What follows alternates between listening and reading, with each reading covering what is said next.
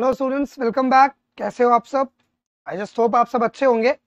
सो so, आज हमें जो टॉपिक स्टार्ट करना है that is chapter eight which is regional economic integration देखो जब ये टॉपिक आप लोग पढ़ रहे हो ना तो इस बात को समझो इससे पहले जो हमने टॉपिक्स काफ़ी सारे पढ़े हैं उन सब का यूज़ हो करके इस चैप्टर की थ्योरीज बनेंगी।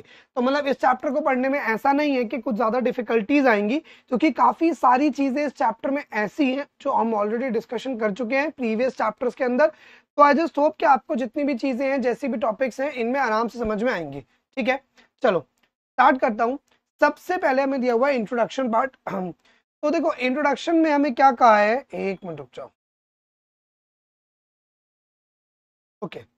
So multilateral regional trade agreements like GATT, WTO, EFTA, NAFTA, etc. have brought successive reduction tariff barriers. आपको याद होगा इससे पहले हमने गैट के बारे में डब्ल्यू के बारे में डेप्ट में फ़ंक्शन पढ़े थे और टैरिफ और नॉन टैरिफ बैरियर्स के अंदर ये चीज़ हमने पढ़ी थी कि किस तरीके से जो डिफरेंट डिफरेंट जो ग्लोबलाइजेशन को करने के लिए और कंट्रीज़ को ट्रेड को इम्प्रूव करने के लिए जो भी अग्रीमेंट्स किए उन अग्रीमेंट्स की वजह से टैरिफ काफ़ी एक्सटेंट पे रिड्यूस हुआ उसके रिड्यूस होने की वजह से कंट्री में कहीं ना कहीं काफ़ी चीज़ों को लेके betterment I. Trade restriction through protection not only distort the idea of free trade these also hamper competition and cause economic inefficiency through monopolization of activities वो कह रहे हैं जो स्टार्टिंग में एक मतलब प्रोटेक्शनिस्ट का जो कॉन्सेप्ट था, याद करो प्रोटेक्शनिस्ट के कॉन्सेप्ट में मैंने आपको समझाया था मतलब जिसमें हम ये बिलीव करके चलते हैं कि डोमेस्टिक जो फर्म्स हैं, उनको हमें क्या करना चाहिए? प्रोटेक्ट करना चाहिए फॉरेन कंपटीशन से। फॉरेन से जो गुड्स आ रहे हैं, उनको इंडिया मतलब इंडिया कह सॉरी किसी भी कंट्री में आने देने से रोका जाना चाहिए, खासकर डेवलप्ड कंट्री से, जो डेवलपिंग कंट्री में गुड्स आ रहे हैं। इसके पीछे की वजह बहुत सिंपल थी जो हमने पढ़ी थी कि अगर कोई भी गुड्स आ रहे हैं, जैसे आप एग्ज़ाम्पल याद करो, इस तरीके के एग्ज़ाम्पल मैंने दिया कि ये बॉटल फॉरेन से आ रही है, ये इंडिया में बन रही है। अब इंडिया वाली बॉटल के अंदर कहीं ना कहीं क्वालिटी में थोड़ा इश्यूज़ तो है तो चांसेस हैं कि आप सफ़र कर सकते हो राइट तो इसीलिए हमें इस बात को समझना है कि ये जो इनएफिशिएंसीज क्रिएट हो रही थी मोनोपोलाइजेशन की वजह से वो दिक्कत दे रही थी। इस चैप्टर में हमें कुछ केसेस पढ़ने हैं प्रोटेक्शनिज्म के अगेंस्ट कि अगर प्रोटेक्शनिज्म कोई कंट्री करती है तो उसके क्या क्या दिक्कतें आ सकती हैं। और हमें ये भी समझना है कि जो इकोनॉमिक इंटीग्रेशन होते हैं रीजनल या इंटरनेशनल लेवल पे, उनसे क्या इम्पैक्ट पड़ेगा राइट चलो, आगे स्टार्ट करते हैं। Protectionism is often use to make desirable redistribution of income from one section of the society to the other वो कह रहे कि जो प्रोटेक्शनिज्म होता है, वो क्या होता है? It is often use to make desirable redistribution of income from one section of society to the other protection raises the profits of the domestic producers at domestic at the cost of at the cost of the consumer who suffer a loss of consumer surplus अब कैसे? क्योंकि international देखो consumer surplus का मतलब क्या होता है? जब कोई कंज्यूमर किसी चीज़ के लिए दो रुपए पे करना चाहता है मतलब उसके दिमाग में कि हाँ I am ready to pay rupee too but वो चीज़ उसको कितने में मिल जाए? से एक रुपए में मिल जाए। तो आप पे करना चाह रहे हो दो रुपए, मिल आपको गई एक रुपए में। तो ये जो एक रुपए का गैप है, इसे हम क्या बोलते हैं? इसे हम बोलते हैं कंज्यूमर सरप्लस इकोनॉमिक्स में आपने माइक्रो में पढ़ा होगा, अपने फ़र्स्ट ईयर फ़र्स्ट सेमेस्टर जब भी इंट्रोडक्शन इकोनॉमिक्स आई होगी आपके पास। अब वो कह रहा है प्रोटेक्शनिज्म में एक्चुअली में कंज्यूमर सरप्लस का नुकसान होता है। कैसे? क्योंकि अभी, क्योंकि डोमेस्टिक फर्म है ठीक है? डोमेस्टिक फॉर्म की वजह से वो जो चीज़ है कंपटीशन में नहीं है। कंपटीशन में ना होने की वजह से कहीं ना कहीं स्टूडेंट्स किस चीज़ का फेस करना पड़ेगा आपको? डोमेस्टिक सॉरी क्योंकि कंपटीशन नहीं है तो आपको उस चीज़ के लिए रेट ज़्यादा देना पड़ेगा। तो ये चीज़ आपको लॉस करनी पड़ती है। It denies them consumption of low price imported goods Better redistribution of income is possible by imposing high tariffs on imports of luxury goods and lower ones on necessities. This will help in the redistribution of income from rich to the poor. वो कह रहे कि देखो इसमें होता क्या है कि अगर कंज्यूमर को imported good comparatively lower rate पे बेटर क्वालिटी का मिलेगा तो प्रोटेक्शनिज्म जो है उस चीज़ को रोक देती है क्योंकि प्रोटेक्शनिज्म में जो आपके डोमेस्टिक इंडस्ट्रीज़ प्रोड्यूस कर रही हैं, आपको वही कंज्यूम करना पड़ेगा। आपके पास कोई चॉइस नहीं है कि आप कोई बेटर क्वालिटी जो है चीप रेट पे ले सको। अब वो कह रहा है, इस केस में होता क्या है? इस केस में होता ये है कि further have trade benefits relatively abundant factor under Heckscher Ohlin model of international trade scarce factor needs to be given protection वो कह रहे हैं कि अगर हम इसके अंदर बात करें तो जो स्केर्स रिसोर्सेज है, उनको आपको कहीं ना कहीं प्रोटेक्शन देनी पड़ेगी। Free trade may lead to influx of harmful commodities through unscrupulous merchants on account of free international movements. Consequently, government starts acting nationally rather than internationally. Although people as a, as a whole lose globally when trade is controlled, those of the particular country gain. वो कह रहे कि देखो जब कहीं ना कहीं आपको ट्रेड इंटरनेशनल लेवल से करने से रोका जाता है तो हो सकता है कि शॉर्ट टर्म में आपको ये बेनिफिट दिखाई दे बट लॉन्ग टर्म के अंदर इस चीज़ का आपको नुकसान देखना पड़ सकता है। ठीक है? आगे का है as oppose to free trade protectionism promotes trade restriction to safe the interest of trading countries from low prices imports वो कह रहे हैं, अगर हम उसकी बात करें oppose to free trade protection promotes trade restriction free trade में क्या होता था? कि आप कोई भी चीज़ कितना भी मर्ज़ी जो है मंगा सकते हैं, उसमें कोई प्रॉब्लम नहीं थी, बिना किसी रिस्ट्रिक्शंस के। ये थ्योरीज हमने पढ़ी भी थी right protectionism promotes trade restriction to safeguard the interest of trading countries from low price imports जबकि प्रोटेक्शनिज्म क्या करता है कि जो लो प्राइस इंपोर्टेड गुड्स आपके देश में आ रहे हैं, ठीक है, उनको प्रोटेक्ट करता है, उनको सेफ़ करता है right A nation may choose different forms of protection based upon several factors. वो कह रहे हैं कि एक नेशन जो है काफ़ी सारी बातों पे ये निर्णय ले सकता है कि मुझे किस तरह का प्रोटेक्शन अपनी कंट्री में करना है। These include the size of the country and the share in the world trade ये सबसे पहले मैटर ये करेगा कि कंट्री का साइज़ कितना है और उसका वर्ल्ड ट्रेड में कितना परसेंट कॉन्ट्रीब्यूशन है। The economic competition of the competence of the countries domestic producer आपके जो डोमेस्टिक प्रोड्यूसर्स है, वो कितने कॉम्पिटिटेंट हैं कि वो इंटरनेशनल मार्केट में किस एक्सटेंट पे कॉम्पिटिशन कर सकते हैं? The quality and acceptance of the product across the globe based upon its nature अब दूसरी बात क्या आती है? Quality and acceptance of the product मतलब आपको ये भी देखना पड़ेगा कि प्रोडक्ट की क्वालिटी क्या है और उसको इंटरनेशनली कितना ज़्यादा एक्सेप्ट किया जा रहा है पूरे ग्लोब में। The areas which need to be targeted from the policies and the amount of welfare affect that needs to be generated etcetera और आपको यही देखना पड़ेगा the areas which need to be targeted from the policies ठीक है कौन कौन सा एरिया जहाँ पे आप टारगेट करना चाह रहे हैं ये सारी चीज़ें free trade is difficult to establish its long term survival with stability is also questionable due to various reasons वो कह रहा है कि बिल्कुल ही फ्री ट्रेड हो जाएगा तो भी दिक्कत है क्यों देखते हैं where is it apart from the complexity of the product and parties involved there are cases both for against the existence of adoption of protectionist policy both of which look convincing वो कह रहे हैं कि अगर आप protectionist policy adopt कर रहे हो तो उसमें दोनों ही बातें हैं मतलब कुछ एक्सटेंट पे वो अच्छा भी है, कुछ एक्सटेंट पे वो बुरा भी है तो दोनों ही तरह की बातें इसमें आती हैं। अब बात करते हैं केस अगेंस्ट प्रोटेक्शनिज्म ठीक है प्रोटेक्शनिज्म के अगेंस्ट कौन सा केस है? Free trade makes people accustomed to cheaply manufactured foreign goods and thus destroy local industries वो क्या जो फ्री ट्रेड होता है make people accustom to cheaply manufactured foreign goods and thus destroy local industries वो क्या है जो फ्री ट्रेड होता है, जो मतलब चीपली मैन्युफैक्चर किया जाता है, ठीक है cheaply manufacture foreign goods and thus destroy local industry उसमें होता क्या है, जैसे कि चाइना ने क्या किया इंडिया के केस को लेकर के मैं आपसे बात करूँ तो उन्होंने वहाँ पे अपनी कंट्री में फ्री ट्रेड कर दिया और मतलब वहाँ पे जो बहुत चीप क्वालिटी के गुड्स थे, उन चीप क्वालिटी गुड्स को डंप कर दिया इंडियन मार्केट्स में। जिसकी वजह से आप कहीं ना कहीं ये देख रहे हो कि जो लोकल इंडस्ट्रीज़ है, वो हर एक सेक्टर की बर्बाद हो गई, क्योंकि चाइना से आने वाले किसी भी तरीके के जो कंज्यूमर प्रोडक्ट थे, वो बहुत सस्ते थे। तो और इंडियन मार्केट एक कंपेरेटिवली ऐसी ही मार्केट है, जहाँ पे अभी भी लोग कंपेरेटिवली क्वालिटी के क्वांटिटी में बिलीव करते हैं। The destruction of Indian handicraft particularly cotton textiles through free and unrestricted import from English textiles is an glary glaring example अगर आप लोगों ने इंडियन इकोनॉमी पढ़ी होगी तो आपने पढ़ा होगा कि 1947 के टाइम पे जब हमें फ्रीडम मिली, उससे पहले जब दो टू ऑलमोस्ट 190 ईयर्स उन्होंने राज किया था बट 200 साल बोला जाता है। 200 साल तक जब ब्रिटिशर्स ने हमारे पे रूल किया तो उन्होंने क्या किया था? उन्होंने इसी पॉलिसी को, उन्होंने कहा था कि अगर इंडिया इंपोर्ट करेगा फिनिश गुड्स ब्रिटेन से तो आपको कोई टैक्स नहीं देना। तो जब ऐसा कुछ हुआ तो वहाँ से आने वाले गुड्स कंपेरेटिवली सस्ते पड़ गए। तो मशीन से बने हुए गुड्स कंपेरेटिवली सस्ते और बेटर क्वालिटी में होते थे तो इंडिया का हैंडीक्राफ्ट पूरी तरह से बर्बाद होता गया। The growth of nations was a necessary condition post world war every nation wanted to create self sufficiency or self reliance through greater import substitution. At the beginning stage followed by rigorous export promotion of both capital and consumer durable goods.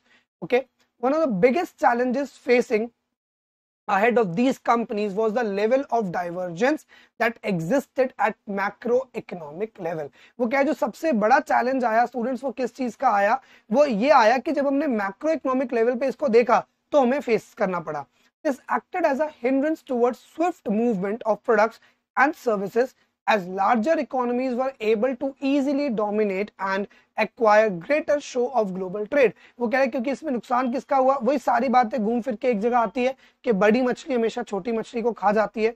तो यहाँ भी वही बात आई कि जो countries का international dominance ज़्यादा था, जिन कंट्रीज़ के पास एक्चुअली में ट्रेड करने के लिए चीज़ें बहुत ज़्यादा थी, उन कंट्रीज़ ने क्या किया? जो छोटी छोटी डेवलपिंग इकोनॉमीज थी, उनको पूरी तरह से खत्म कर दिया। Okay this post constant threat to smaller developing economies which kept their progress delayed. These production policies are the only solutions for economies to make space for their products in the international market. The argument should hence be understood in the context of our explanation. चलो अब पहले economic arguments करते हैं किसके लिए support में protectionism के सबसे पहला है alternation alteration of terms of trade TOTs आपने शायद उसमें भी पढ़ा होगा टॉट्स में ख्याल से लॉ में भी आता है ना टॉट्स करके ये वही है। मतलब वही नहीं है मतलब हेडिंग वही है कंटेंट तो अलग है।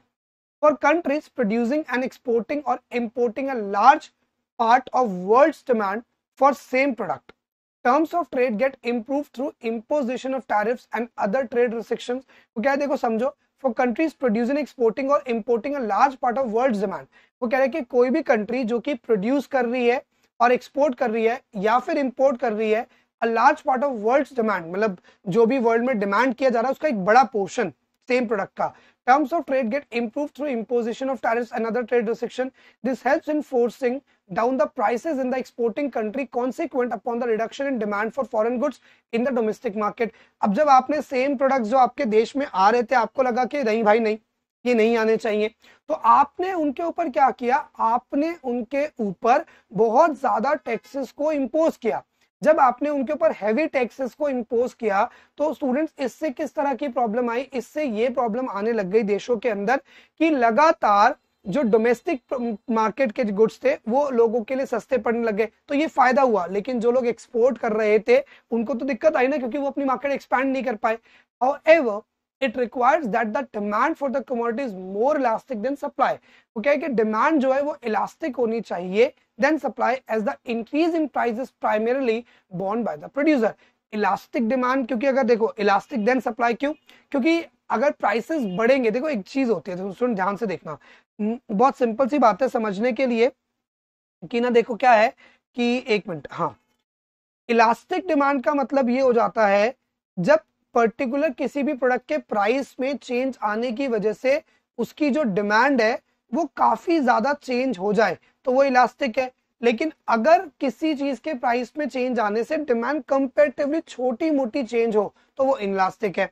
अब वो कह रहे हैं कि देखो, इसमें हमें सबसे पहले देखना है जो फॉरेन के प्रोडक्ट की जो डिमांड है वो इलास्टिक होनी चाहिए। क्योंकि अगर उसका प्राइस चेंज होगा, लोग कहेंगे, यार चल ना, छोड़, इतना भी इंपॉर्टेंट नहीं है, यही वाला ले लेते हैं।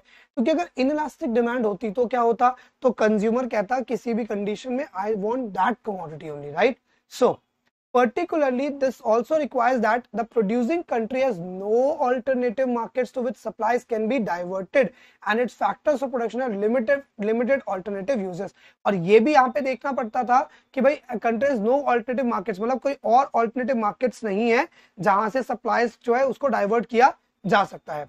The demand for the exports of the country imposing the tariff must be unaffected by the loss of income suffered by the countries who find their sales abroad reduce कह रहे कि अब एक और भी चीज़ थी the demand for the exports of the country imposing the tariff okay must be unaffected by the loss of income क्योंकि देखो कहीं ना कहीं आपने डिमांड जो है मतलब जो एक्सपोर्ट्स आपके देश में हो रहे थे उसको बंद किया उसको बंद करने से जो इंटरनेशनल मार्केट जो कंट्री वो एक्सपोर्ट कर रही थी उसकी इनकम जो है उस पर इंपैक्ट आएगा तो आपको ये भी चीज़ जो है वो भी देखना चाहिए कि वो जो कंट्री है वो कंट्री आपकी इनकम कम होने से आपके ऊपर कुछ खास इफ़ेक्ट ना आए। तो ये दो बातों का जो ध्यान है, वो रखना पड़ेगा प्रोटेक्शनिज्म करने से पहले। ठीक है? नेक्स्ट आए the restrictions can also help in maintaining equilibrium in BOP BOP deficit कब होता है? हमने बैलेंस ऑफ़ पेमेंट पूरा पढ़ा था, जब किसी कंट्री के इंपोर्ट्स बहुत ज़्यादा हो जाएँ तो यहाँ से आपने रिस्ट्रिक्शंस लगा दिए। तो जैसे ही आपने रिस्ट्रिक्शंस किए, देखो लिखा भी हुआ नॉन एसेंशियल ये बात समझो, आप इंडिया या कोई भी डेवलपिंग नेशन को लेके बात करो तो ठीक है, आप काफ़ी एक्सटेंट पे कंज्यूमर गुड्स अपने देश में बना सकते हैं और वो असेंशियल जो आपके पास जो भी चीज़ें आप उनको अपने देश में बनाए। लेकिन जो नॉन असेंशियल चीज़ें हैं, जैसे कि गाड़ियाँ हो गई या अननेसेसरी कोई भी सर्विसेज़ हो गई, जो आपकी कंट्री को उतनी बहुत रिक्वायरमेंट नहीं है मतलब बहुत ज़्यादा लग्जरी आइटम्स हो गए तो ऐसी चीज़ों के ऊपर अगर आपने इंपोर्ट ड्यूटी ज़्यादा लगा भी दी तो उससे कोई दिक्कत नहीं है।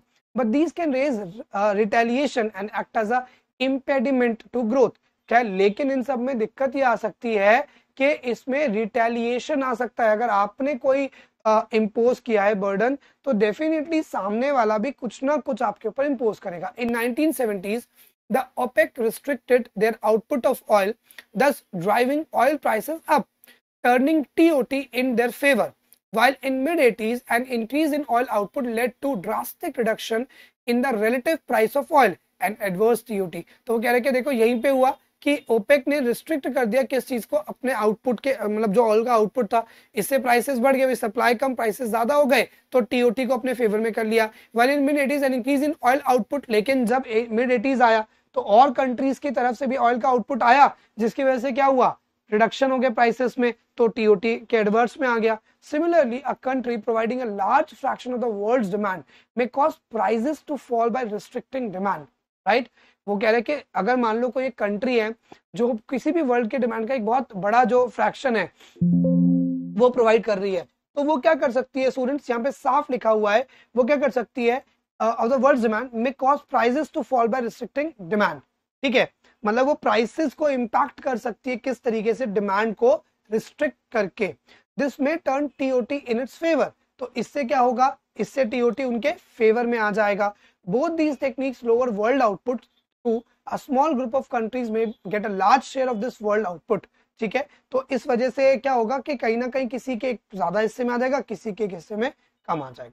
आगे दिया है नेचुरल मोनोपोली नेचुरल मोनोपोली देखो स्टूडेंट्स ऐसा होता है कि कुछ कुछ कंट्री के पास कुछ रिसोर्सेस सिग्निफिकेंट अमाउंट में होते हैं which gives them the advantage of natural monopoly the policies also provide negotiation and bargaining power for trading partners specially if the country is a natural monopoly but this policy argument is not free from the fact that its survival is short will try to develop substitute bargaining power also gets affected if trading partner can not offer a substantial gains. Also, even after existence of a monopoly, a small economy fails to exert pressure on its large trading partner.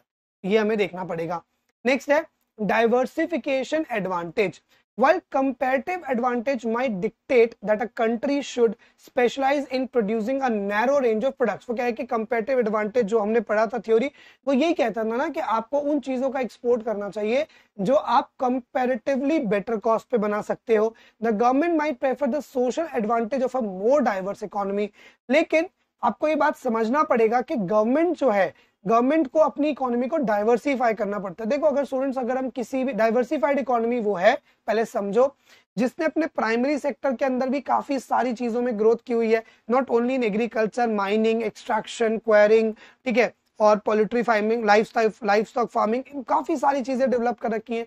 Secondary में भी काफ़ी सारी चीज़ों पे उस country का जो ध्यान है मतलब मैन्युफैक्चरिंग के अंदर भी काफ़ी सारी चीज़ें मैन्युफैक्चरिंग हो रही है। सिमिलर विद सर्विस सेक्टर तो एक कंट्री जो अपने पोर्टफोलियो को हमेशा डाइवर्सिफाई करेगी, उसको फ़ायदा ये रहेगा कि अगर किसी एक, दो, चार प्रोडक्ट की इंटरनेशनल मार्केट में डिमांड कभी खत्म भी हो गई तो वो बाकी प्रोडक्ट्स के बेसिस पे अपना सर्वाइवल देख सकते हैं। लेकिन अगर कंट्री डाइवर्सिफाई नहीं होगी लाइक एग्जांपल मैं आपसे लेना चाहूँगा कुवैत का। कुवैत का जो जीडीपी है, उसका 95 percent comes from oil crude oil आज तो ठीक है, लेकिन आज से अगर मान लो 30-50 साल बाद जब या तो रिजर्व्स ऑयल के कम हो जाएँगे, या फिर मान लेते हैं कि ऑल्टरनेटिव जो है सोलर एनर्जी पे बहुत ज़्यादा एग्रेसिवली काम किया जा रहा है, अगर उसके ऊपर बहुत ज़्यादा एक्सटेंशन में काम कर दिया गया तो कहीं ना कहीं आपको फिर क्रूड ऑयल की रिक्वायरमेंट बहुत कम हो जाएगी। तब कुवैत क्या करेगा? इसलिए एक इकोनॉमी को कोशिश करनी चाहिए कि एक डाइवर्सिफाइड इकोनॉमी के अंदर रह के काम करे। Okay, so the consumer get a wider range of occupations as well as products. This would more than compensate for a declining living standard. So, ये चीज़ आपको ऑब्वियसली बात है लिविंग स्टैंडर्ड डाउन होने में कॉम्पनसेट करेगी, क्योंकि आप सब जगह से कुछ ना कुछ काम कर लेंगे। नेक्स्ट है सेल्फ सफिशियंसी सेल्फ रिलायंस अब प्रोटेक्शनिज्म की पॉलिसी आपको सेल्फ रिलायंट बनाती है, क्योंकि हमने पढ़ाई है ना कि प्रोटेक्शनिज्म में आपका टारगेट ही स्टूडेंट्स क्या रहता है? कि जो सामान आप बाहर के देशों से मंगा रहे थे, उनका सब्सटीट्यूशन डोमेस्टिक लेवल पे करो। और जो चीज़ें बहुत ज़्यादा मैंडेटरी केवल उन चीज़ों को इंपोर्ट अपने देश में किया जाए राइट तो जब आप इंपोर्ट सब्सटीट्यूशन की पॉलिसी को अडॉप्ट करते हैं तो एक्चुअली में आप अपनी डोमेस्टिक इंडस्ट्रीज़ को प्रिपेयर कर रहे होते हो to manufacture the alternative goods जिससे कि आप डिपेंडेंट अपने देश पे रहोगे, कल को इंटरनेशनल वर्ल्ड में कुछ भी होता है तो आपको उतना प्रॉब्लम नहीं आएगा क्योंकि आपके डोमेस्टिक इंडस्ट्रीज़ केपेबल हैं उन चीज़ों को हैंडल करने के। और इंपोर्ट सब्सिट्यूशन से एक सबसे इंपॉर्टेंट चीज़ होती है सेव हो जाता है, इससे हमारे पास क्या? फॉरेक्स हम इससे अपना फॉरेक्स सेव कर पाते हैं। और फॉरेक्स को सेव करना बहुत ज़रूरी होता है स्टूडेंट्स ठीक है? चलो। नेक्स्ट है infant industry argument The industry first to enter the field has tremendous advantage. A newly started infant industry may find itself unable to compete with the well-established big police competitors already producing on a large scale. The guaranteed home market will enable it to get over its teething problems. Over time, it will be so strong that it can compete on equal terms with the rest of the world. वो वही वाली बात है जो मैंने आपको बहुत starting में समझाई थी कि अगर आप अपने टॉडलर स्टेज में तो आपके पेरेंट्स कोशिश करते हैं कि स्कूल ड्रॉप करने जाते हैं स्कूल लेके आते हैं स्कूल से लेके आते हैं, सारी चीज़ों का टेक केयर करते हैं but after certain age let suppose के ट्वेल्व थर्टीन फोर्टीन के बाद, वो कहते हैं, नहीं भैया, आप खुद जाओ, खुद आओ। सेम वही बात है कि स्टार्टिंग के केस में तो ठीक है, क्योंकि जब नई नई इंडस्ट्रीज़ बन रही हैं तो उस टाइम पे वो डोमेस्टिक जो कंपटीशन है, वो उसको फेस नहीं कर सकती। लेकिन अगर टाइम के बाद जब वो ग्रोथ कर चुकी है बेटर अपने आप को स्टैंड कर चुकी है, अगर आप उस टाइम पे अगर अपनी कंट्रीज़ को बोलोगे कि भाई हाँ आप इंटरनेशनल वर्ल्ड के साथ कंपटीशन करें, तब आपके पास क्या हो सकता है? Then you get might get an advantage just a moment hello hmm ठीक ठीक। हम्म।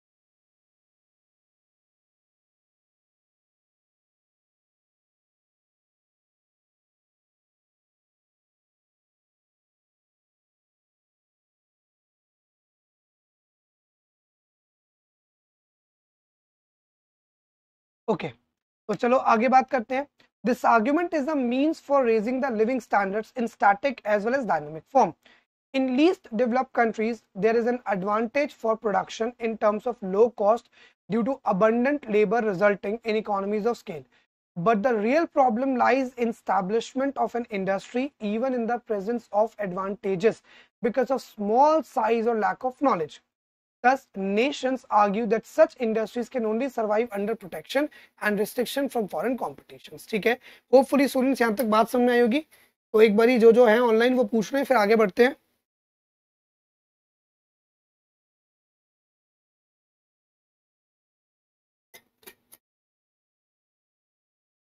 चलो आगे है The dynamic form of the argument focuses on the constantly changing nature of technology. Here also, the early entrants in the field enjoy a larger advantage over others in terms of experience and acquired ability. But the expansion of these skills requires protection of domestic industries in the early stages of their development. Once these countries catch up with the advanced technology, protection may be removed, right? But this policy may lead to stagnancy stagnancy कैसे हो जाएगी? देखो starting का मैंने नहीं बताया क्योंकि आपको पता है कि इसमें समझ में आ रहा है। स्टेगनेंसी कैसे हो जाएगी? क्योंकि वही डोमेस्टिक इंडस्ट्री आपके मार्केट में रूल करती रहेगी करती रहेगी। और क्योंकि कंपटीशन नहीं है तो शायद वो अपने आप को इम्प्रूव करने की कभी सोचे बिना। तो इस वे में हो सकता है कि ये जो पॉलिसी आपकी प्रोटेक्शनिज्म की वो स्टेगनेंसी क्रिएट कर दे। However, if a clause is added that protection will be given if the industry becomes successful in foreign markets in a specified time period, this problem may be effectively dealt with. This was the method followed by and large in all the currently economically advanced countries like Germany, France, and to some extent the early English industries during the Industrial Revolution, which were helped by the prohibition of imports of Indian cotton goods. So this argument is seen with skepticism because of certain drawbacks. The infant industry survives with fuller effect for a developing country as compared to a developed industrial economy. Other problem like identification of an infant industry and provision of subsidy rather than tariff is an important point. A government can also provide a subsidy or tax exemption which can be beneficial. वो क्या है जो और argument है वो ये कहते हैं कि अगर आपको उनको प्रोटेक्ट ही करना है तो आप उन्हें टैक्स एग्जेम्पन दे दे जिनसे उनकी कॉस्टिंग कम हो जाए, या फिर आप उन्हें किसी तरह की सब्सिडी प्रोवाइड कर दे जिससे उनकी कॉस्टिंग कम हो जाए रेदर देन कि आप उस पर क्या लगाएँ टैरिफ लगाएँ। तो ये चीज़ आपको ध्यान रखनी चाहिए। नेक्स्ट है learning by doing practice The dynamic versions of the infant industry argument is supported by the reason based on learning by doing skills and other things required to develop comparative advantage may be learned if enough time is allowed for the learning to take place. In fact, the pattern of comparative advantage can even be changed over time.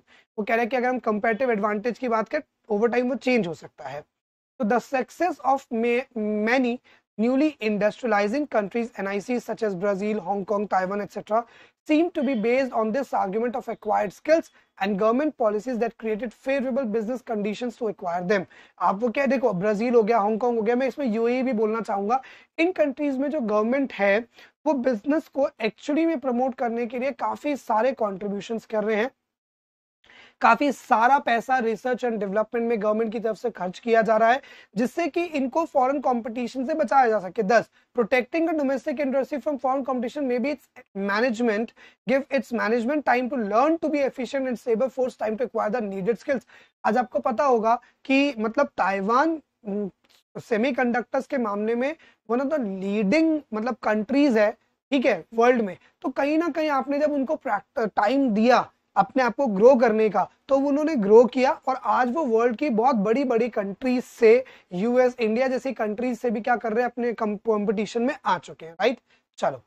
Next है exploration of strategic trade advantage in the case of new products the firm must the worst firm to develop and market its successfully may earn a pure profit वो कह रहे कि देखो, अगर new product है और जिस फॉर्म ने पहली बार बनाया है तो हो सकता है उनको स्टार्टिंग में तो बहुत बढ़िया प्रॉफिट हो जाए। If protection of the domestic market can increase the chance that such a firm may become an establish firm in the international market in the long run the protection may pay off वो कह रहे कि अगर actually में ऐसा हो पाया कि आपने जो उनको प्रोटेक्शन दी, जिस प्रोटेक्शन की वजह से उनको बढ़िया प्रॉफिट मिला तो कहीं ना कहीं ये चीज़ पे ऑफ़ हो गया। Many of today's high-tech industries, example computers, aircraft, etc., have huge initial fixed cost of entering a market. In such industries, there may be a room for only a few firms. Yet, if these costs have to be recovered, each of the firms must have a large volume of sales.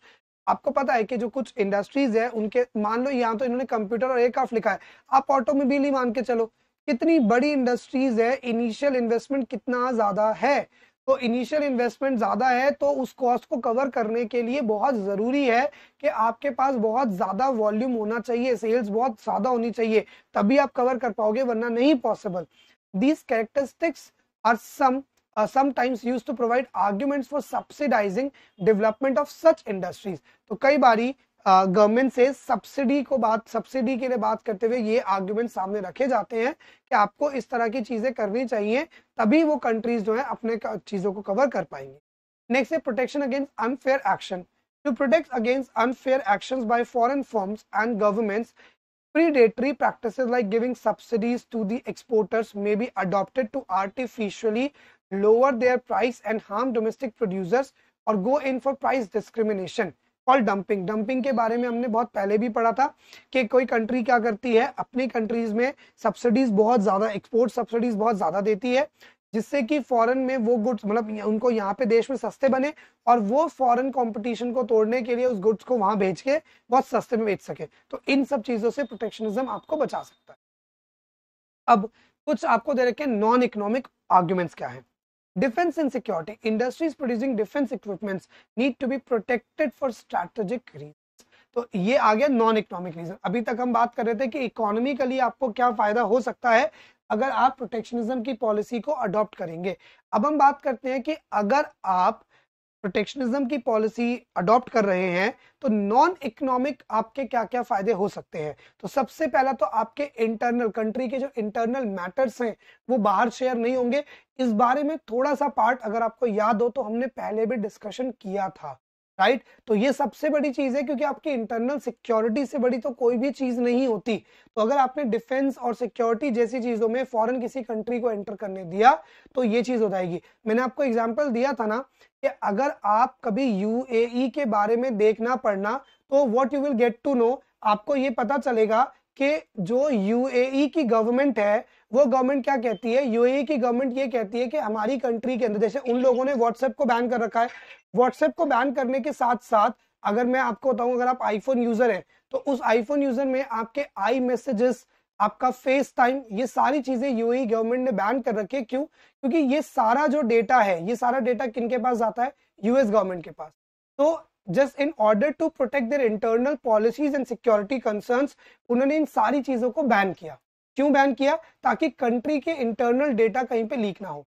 Next आपके पास है employment क्योंकि अगर आप protectionism की policy को adopt करोगे students तो आपको क्या फ़ायदा मिलेगा एम्प्लॉयमेंट बिकॉज़ जो फॉरेन से आने वाली कंपनीज़ आपके प्रोडक्ट्स को इंडिया में या किसी भी डेवलपिंग कंट्री में बेचेगी तो उनकी प्रोडक्शन तो डोमेस्टिक है।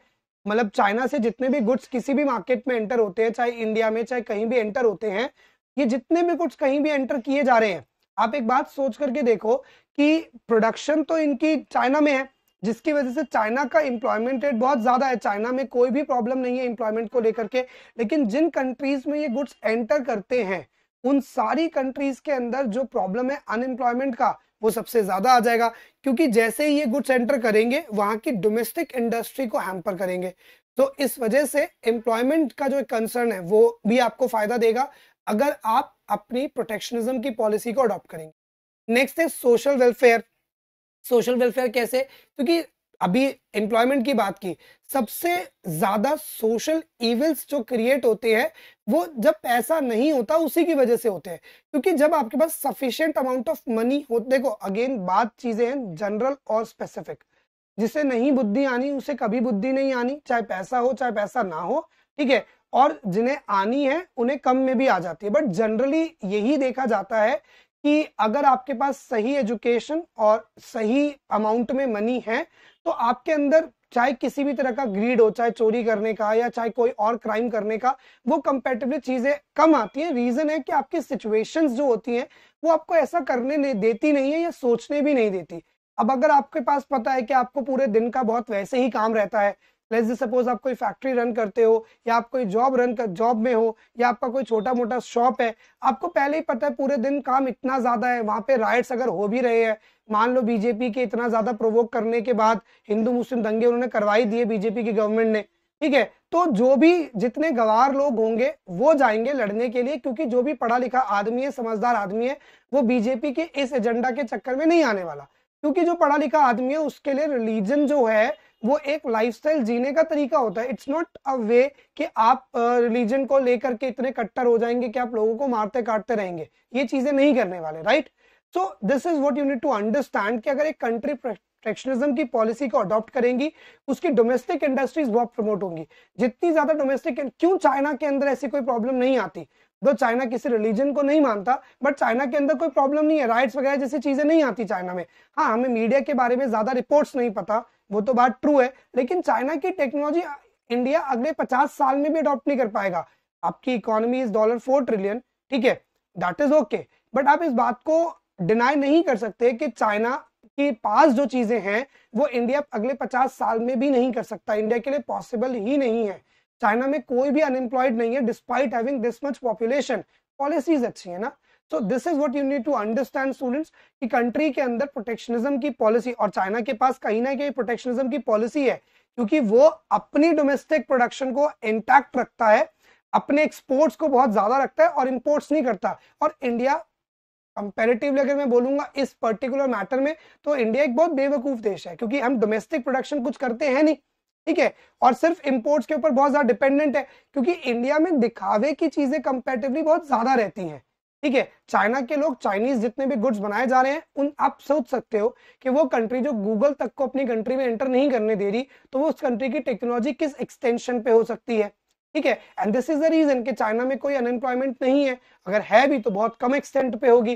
ठीक है तो this is what you need to understand with the policy of protectionism next है risk of specialization. Okay limiting specialization to a narrow range of products may involve risks that a country especially a small one does not want to take example given the rate of technological advancement so risk of specialization आपके लिए क्या फ़ायदेमंद हो सकता है कि देखो अगर आप एक कंट्री है जो कंट्री अपने लेवल पे जो भी चीज़ें आप स्पेशलाइज्ड है उन्हीं चीज़ों में डील कर रहे हैं तो वो आपको एक बहुत बड़ा एडवांटेज दे सकता है क्योंकि धीरे धीरे वो काम करते करते इकोनॉमीज ऑफ़ स्केल की वजह से your cost of production will be very low और जब वो चीज़ हो जाएगी तो आपको फ़ायदा मिलेगा नेक्स्ट है protection of specific groups Although free trade will maximize per capita GDP over the whole economy, some specific groups may have higher incomes under protection than under free trade. Example, a firm or industry which gets monopoly power when competition is restricted by imposing a tariff may end up earning a large share of national income and being better off under restricted trade rather than free trade. वो कह रहे हैं कि देखो कुछ चीज़ें ऐसी होती हैं जैसे आज देखा जाए तो डियोपॉली है किसके मामले में? अगर मैं आज के डेट में कम्युनिकेशन की बात करूँ मतलब सिम कार्ड वगैरह की बात करूँगा तो उसमें ड्यूपोली सिस्टम है। क्यों? क्योंकि मेजर जाइंट अगर देखा जाए तो हमारी कंट्री में कितने हैं? दो। एक या तो ज़्यादातर यूज़र आपको एयरटेल वाले मिलेंगे या फिर दूसरे आपको यूज़र कौन मिलेंगे? जियो वाले। सो so, एयरटेल और जियो अब ये दोनों बढ़िया मौज कर रहे हैं कि दो ही बैठे हुए हैं। हाँ वी आई करके वोडाफोन और आइडिया मर्ज हो गया बट आपको भी पता है कि उसके कंज्यूमर बेस उतना ज़्यादा नहीं है जितना इन दोनों का कंज्यूमर बेस है। तो अगर एयरटेल और जियो को लेकर के मैं बात करता हूँ तो बढ़िया एंजॉय कर रहे हैं ये। लेकिन अगर ऐसे में इंडिया बाहर से और कम्युनिकेशन कंपनीज़ को आने दे तो इन दोनों ग्रुप्स को तो नुकसान हो जाएगा ना। तो इस वजह से प्रोटेक्शनिज्म की पॉलिसी कई बारी, जो स्पेसिफिक ग्रुप्स है जिन्होंने अपना मार्केट शेयर बहुत बड़ा कर लिया है मोनोपोली के बेनिफिट्स ले रहे हैं, उनको ये बेनिफिट्स होने बंद हो जाएँगे राइट ठीक है। नेक्स्ट स्टेप बात करते हैं कि अगर प्रोटेक्शनिज्म की पॉलिसी को अडॉप्ट करेंगे तो केसेस इसके अगेंस्ट क्या आएँगे? The proponents the proponents of this theory agree in favour of free movements of goods and services across border so as to create world economy with such greater integration and competition Under this free trade policy, there is no interference with trade. Such policy maximizes the world output of diverse ports and services. Further, each country is able to produce a commodity at the least cost by applying the principle of comparative advantage.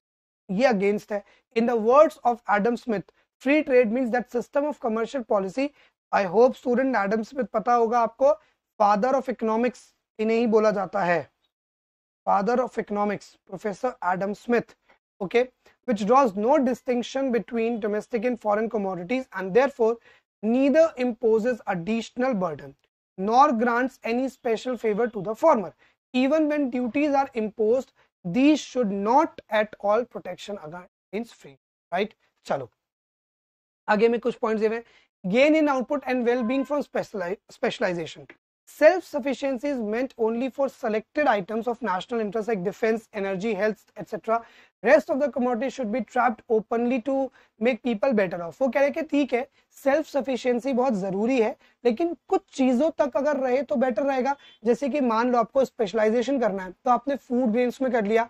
आप food पे किसी और country पे dependent नहीं हो, आप अपनी country के अंदर ही फ़ूड इतना सफिशियंट ग्रो कर लेते हो। डिफेंस का आइटम है एनर्जी सेक्टर है हेल्थ सेक्टर है एजुकेशन सेक्टर भी मैं मान लेता हूँ। ठीक है? लेकिन बाकी चीज़ें आपको क्या करनी चाहिए? आपको बाकी चीज़ें कॉम्पिटेटिव वर्ल्ड में लानी चाहिए, जिससे कि जो कंट्री जिस चीज़ का बेस्ट है, आप अपने लोगों को उसका बेस्ट दे सके। नेक्स्ट है growth effect the policies followed by the government under protectionism could also be discriminatory in nature causing benefit to only a segment और class of society both consumers and unprotected industry suffer. As a result, there is a danger of corruption. To corner protection benefits. While free trade stimulates economic growth, the increased real income through free trade raises the level of saving.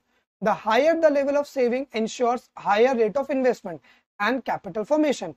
In this way, the developing countries can break the vicious cycle of poverty and achieve self sustain growth देखो एक बात सबसे important है कहीं ना कहीं जो protectionism है वो डिस्क्रिमिनेटरी हो जाते हैं क्योंकि कुछ जो इंडस्ट्रीज़ है वो ग्रो करती जाएँगी कुछ नहीं कर पाएँगी। और कई बार करप्शन के चांसेस भी बढ़ जाते हैं। और सबसे इंपॉर्टेंट देखो पता है क्या है, अगर आप बाहर के इंडस्ट्रीज़ को आने देते हो तो वो अपने साथ इन्वेस्टमेंट्स लेके आती हैं। और मैंने आपको काफ़ी बार वीडियोस में समझाया है स्टूडेंट्स कि जब आपके देश में नई नई इन्वेस्टमेंट्स आती हैं तो उससे क्या होता है, उससे आपको सबसे बड़ा फ़ायदा ये होता है कि आपका जो साइकिल है विशेष साइकिल वो वो ब्रेक हो पाता है राइट तो ये चीज़ आपके लिए ज़रूरी हो जाती है। नेक्स्ट है financial implication protection specially that of export subsidies bring in greater burden on government finances. Those in the form technical and administrative restrictions create time as well as efficiency lacks leading to increased overhead cost, right?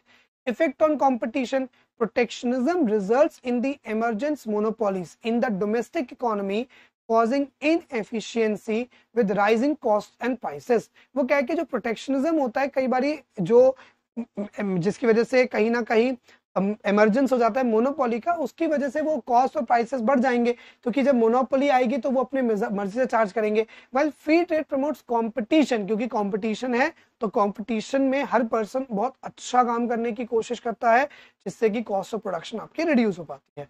Okay inter country relation of course जब दो तीन countries आपस में मिलकर के trade कर रही हैं ट्रेड के अंदर काफ़ी सारा अमाउंट लगता है तो इससे कहीं ना कहीं एक दूसरी कंट्री के लिए जो रिलेशन है, वो कॉर्डियल रिलेशन जो है, वो डेवलप होते हैं। लेकिन अगर आप वहीं प्रोटेक्शनिज्म कर देंगे तो वो रिलेशन कहीं ना कहीं खराब हो जाएँगे, क्योंकि कंट्रीज़ को लगेगा कि ये कंट्री एरोगेंट हो रही है, हमें एंट्री नहीं करने दे रही। अब कभी अगर हमें कहीं कहीं कोई ज़रूरत पड़ेगी तो शायद वो कंट्रीज़ हमारे लिए स्टैंड ना ले तो इसलिए ये दिक्कतें भी आ सकती हैं, ठीक है?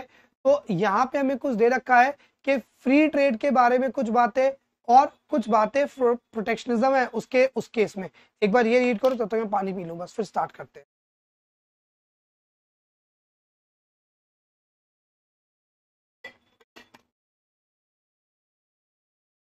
और किसी को डाउट है तो प्लीज़ पूछो। हाँ जी, किसी स्टूडेंट को कोई डाउट है?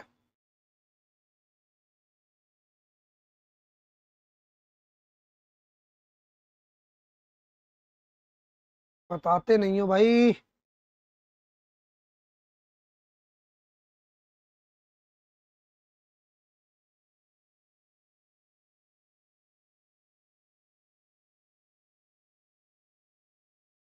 चलो होपफुली आपने पढ़ लिया होगा तो जो पॉइंट्स हमने पढ़े, उन्हीं के कहीं ना कहीं यहाँ पे क्या किया हुआ है समराइज कर दिया है। चलो, आगे बढ़ते हैं फिर। Forms of regional integration groupings अब हम बात कर रहे हैं कि जो रीजनल इंटीग्रेशन होती हैं, वो कौन कौन से फॉर्म्स में होती है। तो देखो, ये जो टॉपिक है कि कौन कौन सी फॉर्म्स में रीजनल इंटीग्रेशन किया जाता है, ठीक है? That we are going to cover in the next part उसको हम नेक्स्ट पार्ट में कवर करेंगे। तब तक I just hope students I just request you to all of you इसको यहाँ तक अच्छे से पढ़ के रखना, ताकि नेक्स्ट क्लास में हम आगे का जो पोर्शन है वो अच्छे से रिवाइज कर सके। चलो बाय टेक केयर स्टूडेंट तब तक के लिए।